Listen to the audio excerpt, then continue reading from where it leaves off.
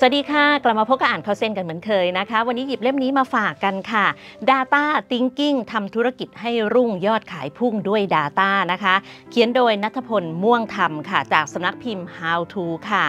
ตอนนี้นะคะเราก็คงปฏิเสธไม่ได้ละค่ะว่า ไม่ว่าจะทำธุรกิจหรือการค้าอะไรก็ตามเนี่ยนะคะ เราก็จะต้องมีทั้งออฟไลน์แล้วก็ออนไลน์ค่ะ แต่ดูเหมือนว่าการแข่งขันทางออนไลน์เนี่ยจะมีแนวโน้มที่เพิ่มสูงขึ้นเรื่อยๆนะคะ ดังนั้นเนี่ยคนที่มีกลยุทธ์อันยอดเยี่ยมเท่านั้นค่ะ มันถึงจะครองตลาดให้อยู่ในมือของตัวเองได้นะคะ เล่มนี้ค่ะเจ้าของเพจการตลาดวันละตอนนะคะเขาก็เลยจะมาบอกวิธีการบริหาร Data ค่ะทำงานกับ Data ข้อมูลที่เรามีอยู่ในมือเนี่ยแหละค่ะ มันสามารถทำให้ธุรกิจมียอดขายเติบโตขึ้นอีกหลายเท่าตัวทีเดียวค่ะ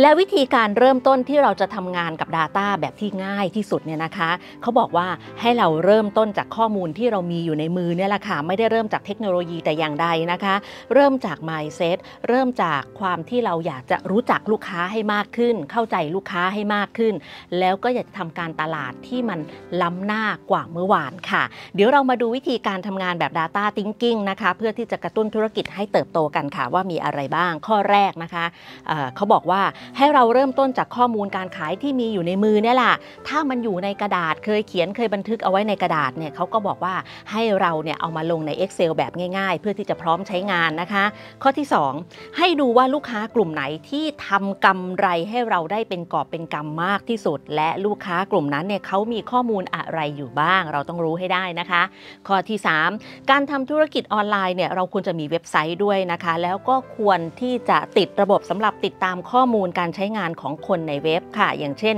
Google Analytics นะคะ ข้อที่ 4 ต้องรู้ว่าสินค้าแบบไหนที่ลูกค้าชอบเข้ามาดูบนออนไลน์ ไม่ว่าจะเป็นในหน้าเว็บหรือแฟนเพจนะคะ เมื่อเราได้ข้อมูลนี้แล้วเนี่ยเราก็ควรจะปรับหน้าร้านตาม Data ที่เราได้จากออนไลน์นั้นค่ะ ข้อที่ 5 ค่ะ แทนที่เราจะยิงโฆษณาออนไลน์ไปยังทุกคนทุกพื้นที่และทุกเวลานะคะ เขาบอกให้เราเอา Data จากพนักงานหรือจากหน้าร้านเนี่ยมาใช้เพื่อการปรับโฆษณาให้มันมีประสิทธิภาพมากยิ่งขึ้นค่ะ ข้อที่ 6 เราต้องมองให้ออกค่ะว่า Data จริงๆเนี่ยมันซ่อนอยู่ตรงไหน เพราะ Data เนี่ยมันอาจจะไม่ใช่แค่ ข้อมูลที่เป็นตัวเลขหรือเป็นตัวหนังสือนะคะ แต่ยังอาจจะหมายถึงรูปภาพคลิปวิดีโอ หรือแม้แต่เสียงค่ะ ถ้าเราทำได้แบบนี้นะคะ เราถึงจะมีโอกาสค้นพบ Data ใหม่ที่ยังไม่มีใครเคยเข้าถึงค่ะ นอกจากบทสรุปเบาๆทั้ง 6 ข้อแล้วเนี่ยนะคะ ในเล่มเนี่ยเขาก็ยังมีเนื้อหาลงลึกอีกมากมายทีเดียวค่ะ อย่างเช่น การใช้เครื่องมือต่างๆ ที่เราสามารถนำมาเล่นกับ Data ได้นะคะ การลงโฆษณาอาหารแบบ Delivery และที่สำคัญคือกลยุทธ์ 5 ขั้นตอนเพื่อการทำงานกับ Data ที่เราสามารถนำไปประยุกต์ใช้ได้กับทุกๆงานเลยทีเดียวค่ะ บางทีนะคะการที่ยอดขายของเราเนี่ยยอดขายออนไลน์หรือออฟไลน์ของเราเนี่ยไม่เติบโตเนี่ยหรือผู้ติดตามเนี่ยอาจจะไม่ได้เพิ่มขึ้นไม่ได้ไปไหนเลยเนี่ยนะคะ มันอาจจะเป็นแค่เรื่องของเส้นผมบังภูเขาก็ได้ค่ะ